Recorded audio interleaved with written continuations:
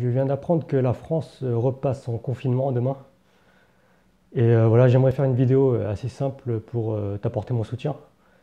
Et voilà, je sais que ça va être une étape assez difficile. Et bon, je ne suis pas un spécialiste du confinement ou quoi, mais voilà, j'ai déjà vécu le confinement, même si c'était sûrement une expérience assez différente.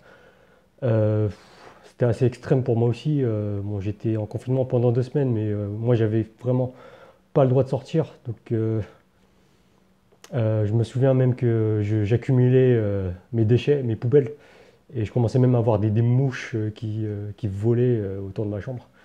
Et je devais, voilà, j'ai dû appeler quelqu'un pour m'aider à récupérer mes poubelles, parce que voilà, même j'avais même pas le droit de sortir pour jeter mes poubelles. Et donc voilà, ouais. Donc je pense que les, aspects importants euh, à prendre en compte euh, dans ces moments-là, c'est euh, voilà, essayer d'organiser tes journées. moi, je ne suis pas un spécialiste pour organiser mes journées, même je ne suis pas du tout une personne de base très organisée. Moi, je fonctionne plus au feeling, mais savoir au minimum le lendemain ce que tu vas faire, plus ou moins, voilà, ça te donne une direction. tu ne peux pas tu peux pas être bien dans ton esprit si euh, tu, euh, euh, tu, tu t'affales sur ton canapé toute la journée et que tu, tu es sur Netflix, tu regardes des séries. Voilà, tu n'as aucune direction dans ta journée voilà, tu fais vraiment, tu fais rien de concret. là, c'est normal qu'à la fin de la journée, tu te sens comme une merde.